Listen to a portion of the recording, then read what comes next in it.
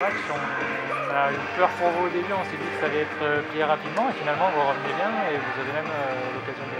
Oui, ça a, été, un match à rebondissement. On, démarre pourtant plutôt pas mal dans les intentions, même si on avait fait le, choix de les attendre et, bah, pour se jauger un petit peu aussi en termes d'intensité. C'est vrai qu'on avait un petit retard aussi d'entraînement. Le seul avantage qu'on avait, c'était euh, d'avoir joué déjà un match officiel la semaine précédente.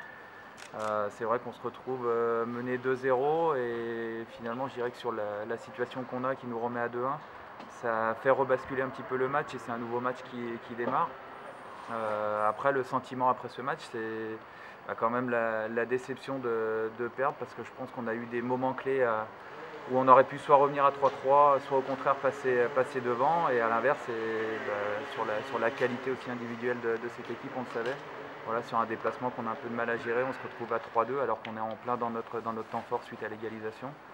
Et après, on n'a pas baissé, les, bras, donc il y a un sentiment aussi de, fierté sur les, valeurs qu'on a affichées, euh, et même en deuxième mi-temps, quand il a fallu reprendre euh, bah, forcément le jeu, le jeu à notre compte pour, essayer de mettre à mal cette équipe.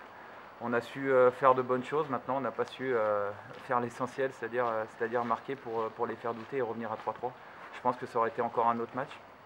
Je nous ai trouvé presque mieux qu'eux physiquement sur, euh, sur la fin. Alors euh, c'est toujours pareil, est-ce que c'est euh, l'énergie du désespoir pour revenir ou réellement le, potentiel physique On ne le sait jamais, mais, mais voilà. Et après le dernier but, il, est un peu anecdotique et il vient, il vient couper cette, cette fin de match, mais forcément on laissait aussi des espaces derrière nous. Donc voilà, c'est de la vraie frustration parce qu'on a su, on a su plus que rivaliser avec, avec cette équipe. Après on était venu avec ambition et, et pas, pas en victime.